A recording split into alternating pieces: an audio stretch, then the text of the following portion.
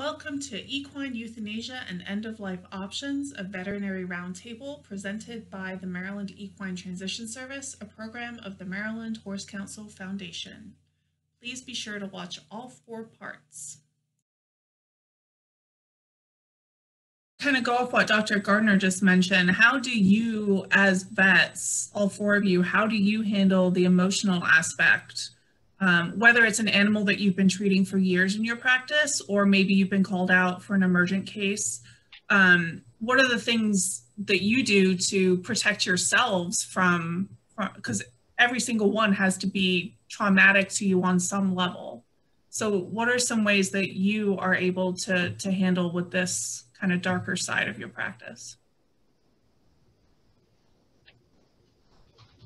Um, for me, I feel that euthanasia is a gift that is not allowed uh, to most people, and that I am upholding my veterinarian's oath to uh, relieve suffering.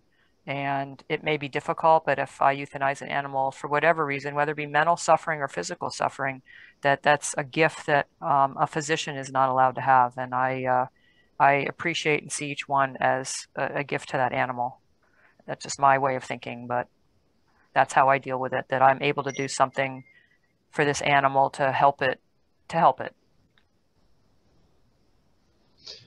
Yeah, I certainly look at it as a relief of suffering, right? And if I'm euthanizing the animal 95% of the time, it's for good reason.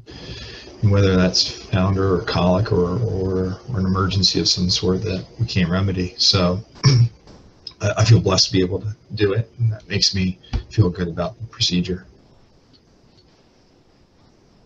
yeah, there's a certain need to accept the inevitable, but you know, our our basic job is to fix things and make things better, and a lot of euthanasias go along with feelings of um, failure and um, not having uh, done everything that you could, even though you did. So um, you know, I, I think it's uh, it's emotionally wrenching, and that's an aspect to it. And then there's also the aspect of empathizing with clients who are often your friends uh, with their loss. Um, that, I mean, there there are some that are definitely easier than others. The the flopping leg is a, a no-brainer, but um, there are some that are, are definitely wrenching, and I confess I've shed a few tears in the process of doing them. Um, if I may, I, I oh I definitely cry also. I cry a lot, even if it's the first time that I've met them. And and often with with our organization, we we exclusively do end of life care. So we're we're going to the homes and, and we will typically do about 60 appointments a month, which is which is high volume for any veterinarian to do. So uh, and a lot of people ask us, you know, are you emotionally tapped? Are you, you know, compassion fatigued and things like that? And I always say, heck no, we're not compassion fatigued. We have compassion. That's why we're doing this. Um, sadly, about 50% of pets that are small animal pets that are euthanized in clinics have not been to their general doctor in over a year. And and when I go to homes, and that's the same thing in the home, these pets have not been to their veterinarian at least 50%. I I struggle with that. Like that, I'm like, uh, what we could have we could have made this last year better. We might not have extended the length, but we could have gotten the quality better. That's what bothers me. Um, and so my my priority in, in as a veterinarian now is educating vets on geriatrics and what we could do for our geriatric pets.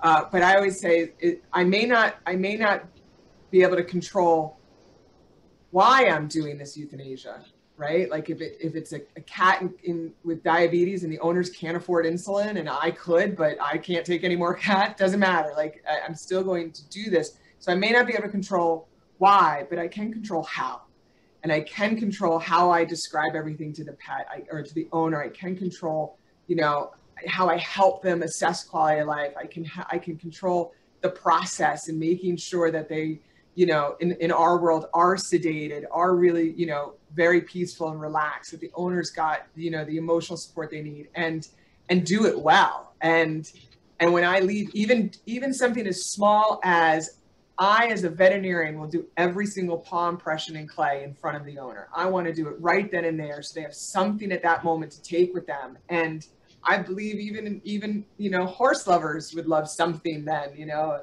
a clipping of, of mane and things like that. And and it, it takes their mind away from grief to a little smile sometimes. And if I can get that, and if I can, you know, without a pandemic, get a hug, it's it helps me.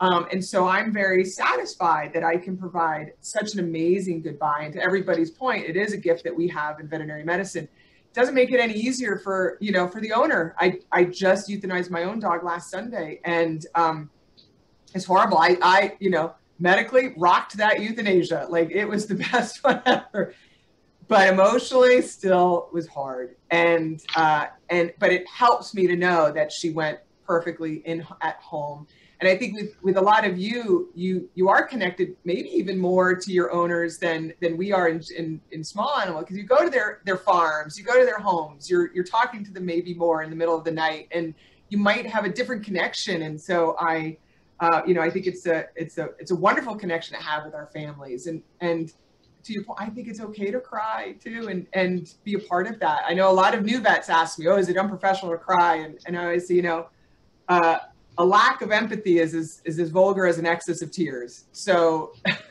so to show show some is is okay. Just don't outdo the owner. to,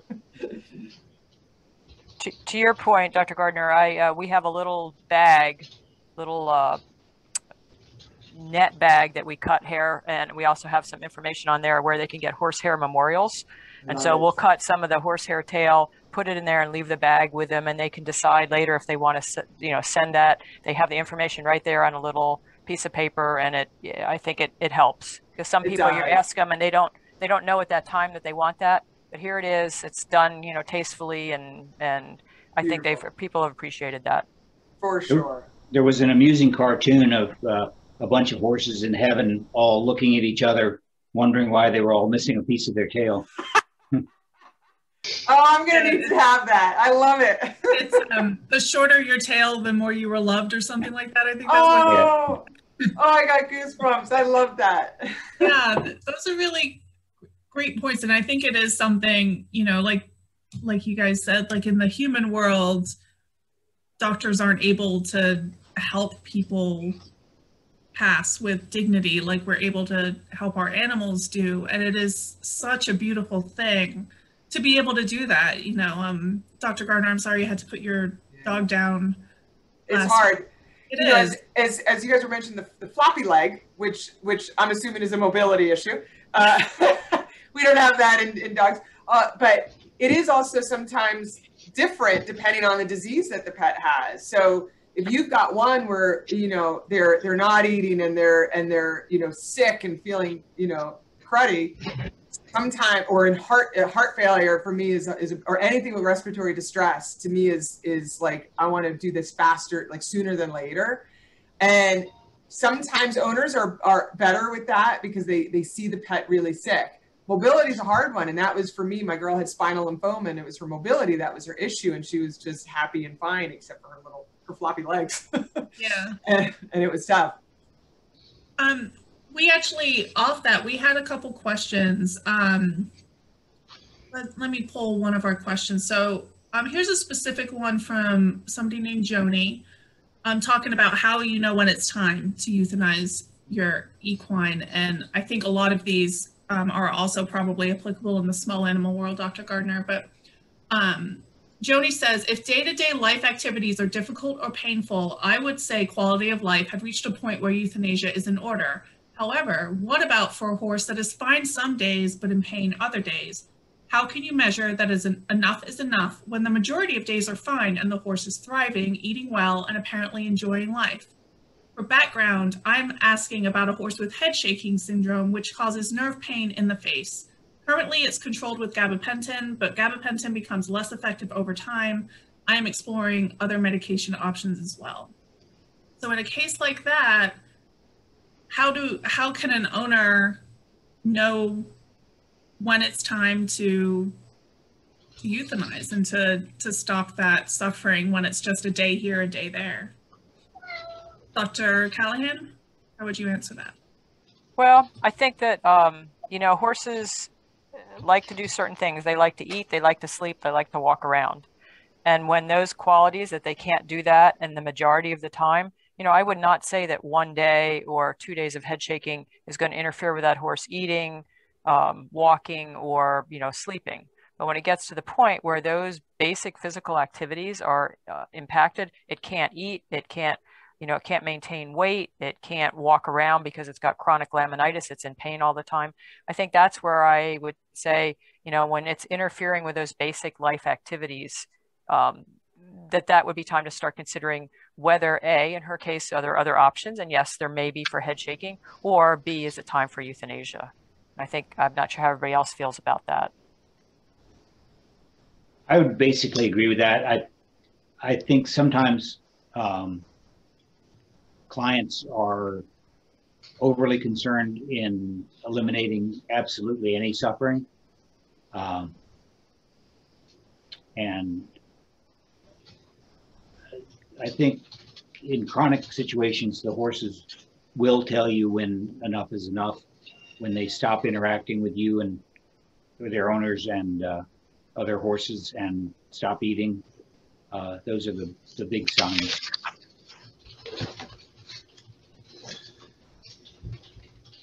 Well, I thought about this question quite a bit, and, and a few years ago, I tried to create a little bit of a quality of life scale, and some of that I, I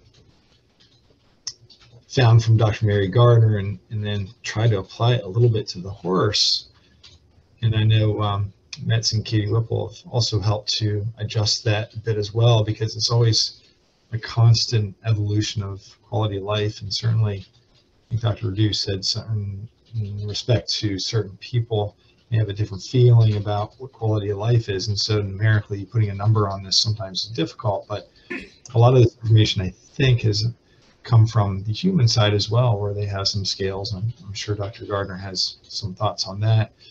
But we try to apply it right to the horse. And certainly I look at the horse and I think mobility is probably the most important thing, certainly in a dog or cat maybe a dog, you can put them in a wheelchair or, or some sort of mobile device, right? Where we can't do that in a horse at all. Um, and so for me, mobility is really, really important, followed by some of those other important physical activities of, of nutrition or eating or hydration and elimination, and certainly herd behavior, attitude, um, and just even just simply looking at heart rate and whether or not you have to give medications and all of these things kind of combined together help me give a little bit of quality of life. And I've given out quality of life scales that I've prepared, if you will, to clients to try to help them gauge maybe a little bit about the number of good days versus bad days and try to put a little bit of a numerical value on it as as a veterinarian. I like numerics, if you will, but we still have to also understand what the heart says a bit and try to incorporate that into our quality of life discussion. Oh boy, Uh, is it too? Oh, No, go ahead. uh, I I have a hard time because this is my this is my like favorite topic of all. So, um, and it's it is really not very different in in the small animal space. And uh, and I think what's I, I was like writing some notes because I can talk for an hour on quality life. This is our number one question. I think every every animal hospital, small to large, should have information on their website about assessing quality of life because it is the number one trafficked page on our website because people want to people want to know and and there'll be somebody flippantly in their life just saying don't worry you'll know and, and sometimes you do and i think in horses that there is a, is there's some magic that that with them um but but sometimes if you're waiting for a look and you're waiting to know for sure you are waiting for active suffering to be present and there is a wonderful place called Denial Island that many of us are residents of during this time, and you may not see it. So I love I love scales, and to Dr. Spo, to your point, like sometimes numerics is weird about this, but you could but you could soften it, right? And so it is it's just a guide to help you. And um, I always say I, I want to make a joys of living list. Like what makes this horse this horse? Every horse, every dog, every cat has a different personality, right? And what makes Rusty Rusty? and and when they're not doing those things then it's definitely a certain quality of life issue you know, eating and, and mobility is massive for for any animal. Uh, the bigger the bigger the worse it is, right? I had a harness for my girl. I'm not going to harness a horse, so uh, that's that's a massive issue. But um, something I, I I love to do is with those quality life scales is not just say more good days than bad. It's it's what is the percentage? Is it 30% good or is it 70% good that you want? It's not just 50-50 sometimes, right? So to, to your point, you know, Dr. Callahan, like one or two head head shaking days is not so bad, or you know, but but 50% or more, that maybe that's it. And also, what is a good day and what is a bad day? And actually define and, and put words behind that. Is, you know, are, are they not eating all of their, their food? Like whatever it may be. Um, uh, you know, I'm trying to use obviously examples for the equine space, but for us is, you know, do they sleep through the whole night or four, four hours is good, right? Like, you know, did they have one accident in the house or is there, you know, pee all over and, and you know, feces all over? Not, not good. So you have to define what is good or bad because everyone in the household, everyone in the farm may, may have different belief systems on, on what is good or bad. And that helps families come together, especially when there's husband and wives or partners or whatever, and they have to make a decision together. Um, and one thing that is really important to consider with quality of life is also caregiver fatigue and caregiver quality of life and that could be massive you don't know what's going on in their in their own lives you don't know all the issues that they've got to deal with for me i you know i wasn't sleeping for months uh, for months not sleeping through the night sleeping on a couch next to my girl waking up early to make sure you know she was clean and good and you know moving and and so it's a lot caring for a terminal or, or geriatric pet so for me anytime i have anytime I have a terminal illness or a very a very old geriatric pet, I say you are in a subjective time period, also known as the roller coaster. And you're gonna have good days, bad days, you know, hills, you're gonna be ready to pull the cord and get off at any time. Um, at any time when you're in my subjective time period, which starts today, you know, this conversation, I support your decision to say goodbye at any time and not let them feel bad if they want to keep going a little bit. Now there's going to become there is going to come a time where I'm going to talk you off this ledge because we need to help this pet. But until then, I'm going to support your decision. Make sure palliation is important, and I think that that's good for all size creatures. Absolutely. I think that brings us really nicely into another question from Janet. Um, kind of thinking about your point, sometimes owners are going to be on that denial island. Um, but Janet asks, is it ever a veterinarian's place to suggest to the owner that it's time to let go? I'm not thinking of catastrophic injury or inoperable conditions, more of a horse whose quality of life is poor or surgery with a low chance of success. And I will answer yes, that I have told, I have told owners that I felt that it was, that they need to consider euthanasia. Um, again, uh, my oath was to prevent animal suffering. And if I feel that an animal is suffering, that is, I'm certainly, I don't make that decision, but I will tell them that I feel that for this X and X reasons, that I feel that they should consider euthanasia.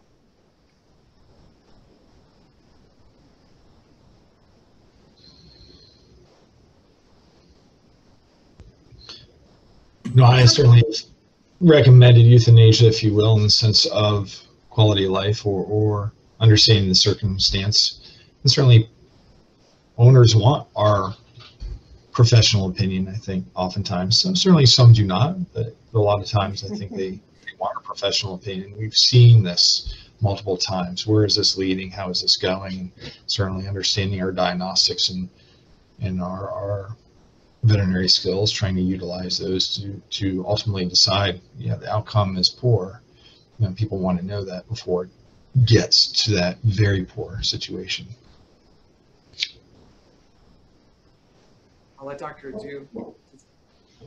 Yeah, no, I I have in instances recommended it, probably uh, not all that often.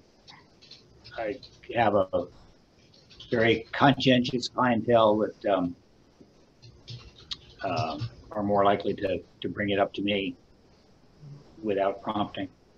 There, can uh, speak to this as well. There is a newly changed uh, regulation in the um,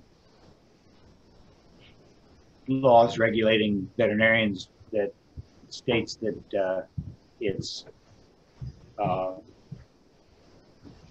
a punishable violation to uh, allow abuse to continue uh, without intervening um, or reporting it if it comes to that. Uh, So we, we have a legal as well as moral obligation to, to do something. So that means that if you recommend euthanasia, um, and the owner does nothing, you're obligated to report to animal control? Is that what that regulation means? Um, yes, I would say that individual circumstances might modify that. But, uh, but yes, if push came to shove, I think that's what it means. I, I think what Dr. Radu, if we see an animal that is suffering or in intractable pain, that the owner um, does not, if we consider it abuse to the point where that horse is suffering and the owner will not um, make steps to uh, treat that condition or the condition can't be treated, then we do have a legal um, responsibility to report that to animal control. So, and you know, and that's very rare. It's not that if I consider euthanasia uh, or I tell the owner I think they should euthanize and I'm going to report them to animal control. But if I see an animal that's actively suffering and I consider it abuse that's starving to death because it isn't being fed or has chronic laminitis and can't walk or bear weight on one leg, uh, I have a, an obligation to report that. So it's not that uh, any animal that I feel that sh- you know that the owner should consider euthanasia, I'm going to report. But if I see an animal that's I feel is abuse, it's an abuse situation, I can report it. Yeah, I think like Dr. Du, uh, they, we we get most people asking for it, obviously, but I do think sometimes it's very helpful to bring it up with owners. They they don't want to mention this word. They don't want to do this. They you know and and just you know gently and and compassionately, also confidently though, bringing this up as an option. Um, sometimes they feel like they're a failure if they you know they don't want to tell you because you've been working so long with them and hard on something and and uh, I think it's it's really helpful to have this kind, compassionate conversation with them. Let them know that you support their, you know, support them either way until it gets to be the, you know, like what you guys were saying with you.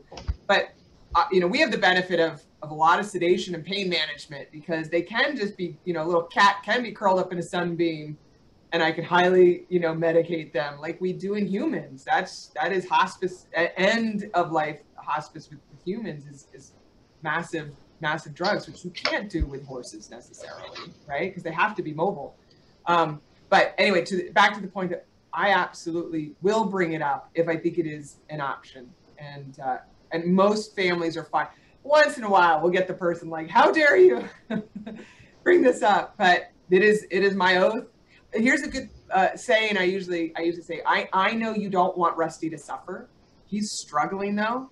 really hard and if we let him go he'll never suffer and owners like like they kind of like that because then they realize that you know letting them go i always say you know a week too soon and a day too late those those sayings which are very helpful but um right if we we don't nobody wants suffering and and uh, so that's why if it's if you're on the fence and we don't know and i like to bring up and say he's struggling though right now and i don't want him to ever suffer.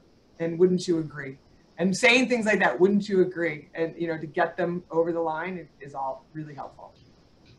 That it's um, important. We bring it up at every assessment we go to. We talk to owners about euthanasia even if the horse is down and you know obviously not a candidate we talk about it if for nothing else to make it the word euthanasia which is kind of a little taboo um, to make it more of a part of the conversation. You know, if it's not a part of the conversation, then it remains something that's difficult to talk about. And when the time comes, then we do end up being a day too late with the euthanasia and the animal is suffering needlessly. Whereas if it if it becomes more of a part of the regular conversation, then maybe the public at large will be better at recognizing those signs a week early and yeah. is better prepared to deal with it.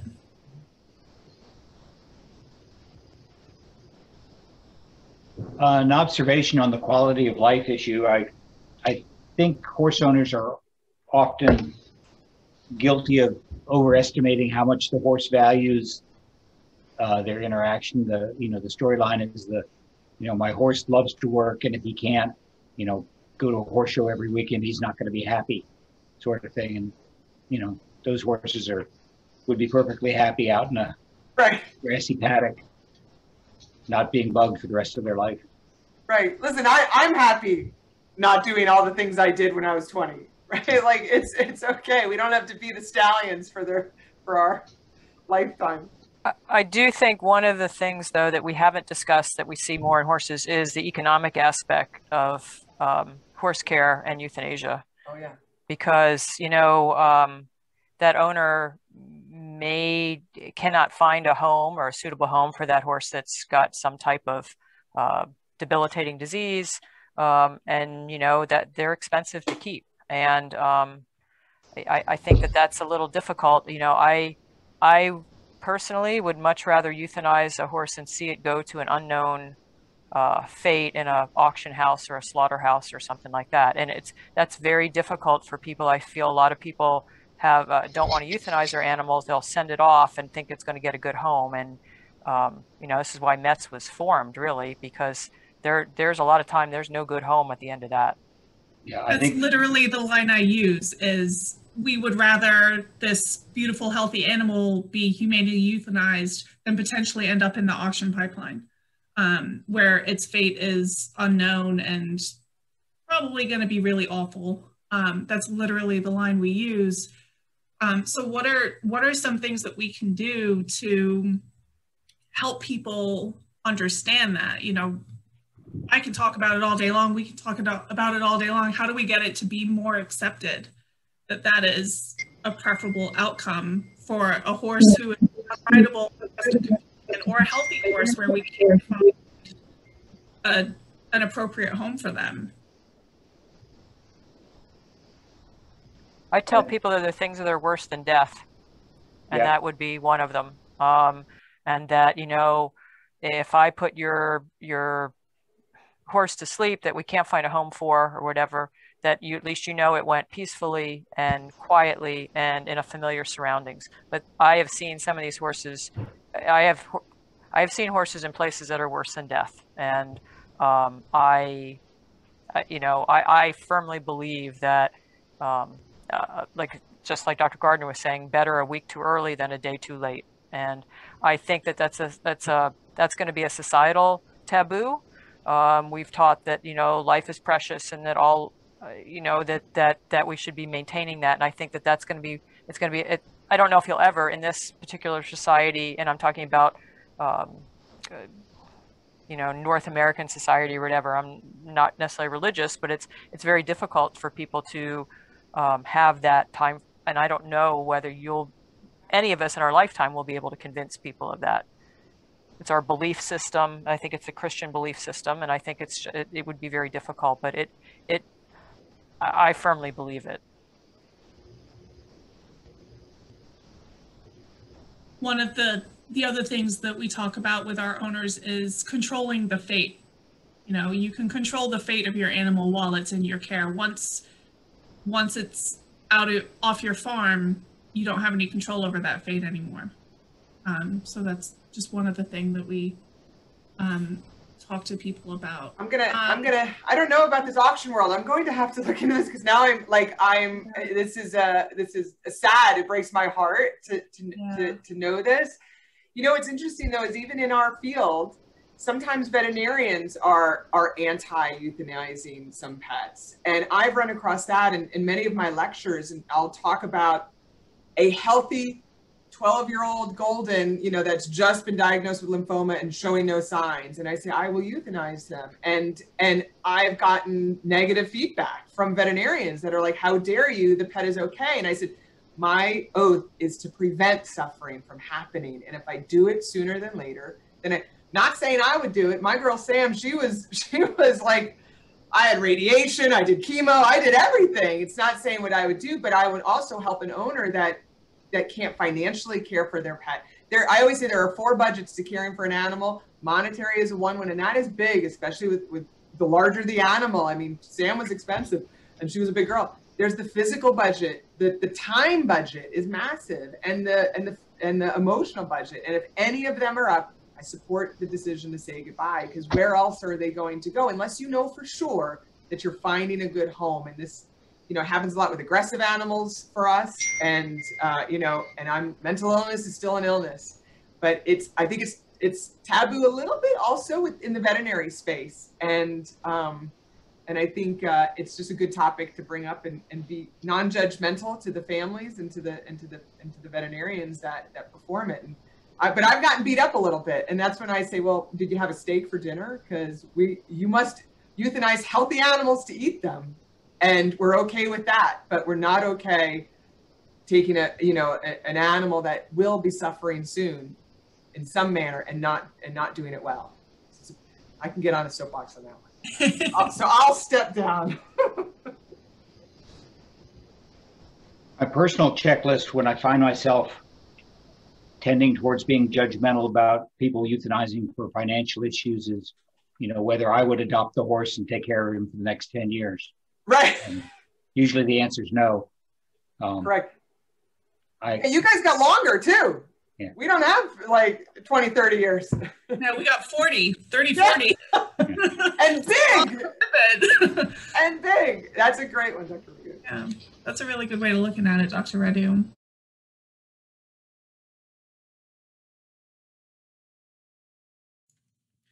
Thank you for watching. Please be sure to watch the other installments of this roundtable. Also, please consider donating to keep METS a part of Maryland's equine community. Let us know if you'd like to see a roundtable about any other subjects. Thank you very much and have a great day.